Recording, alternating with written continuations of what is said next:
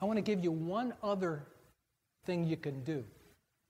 It will help you get out of your comfort zone and grow to proficiency. How many of you listen to tapes or CDs, motivational, technical stuff? That's good. And you know, we have them as well.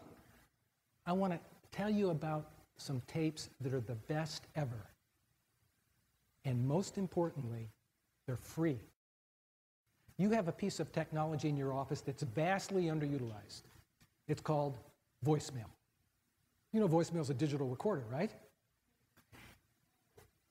If you want to practice, you know, I'm never too busy to help anybody you know or care about with the work I do so that it sounds good. Leave yourself a voicemail message. I'm not talking about your outgoing voicemail. you leave yourself a voicemail message. Has anybody ever tried that? The clients that we suggest this to that do it find they get good in a hurry. Because, see, if you can hear your voice saying it right, an amazing thing happens in your brain. The neuro- neuronal connections start to click in, and it becomes a habit. It's one thing to remember me saying it or Bill saying it. It's another thing for you to remember you saying it and to be able to dial in. You know, that voicemail message is probably good for a month on your voicemail, right? Now, word of caution. The first time you hear yourself say it, your reaction going to be something like, oh, that's awful. That's okay. Hit two to re record. Nobody has to know. But that's how you get good.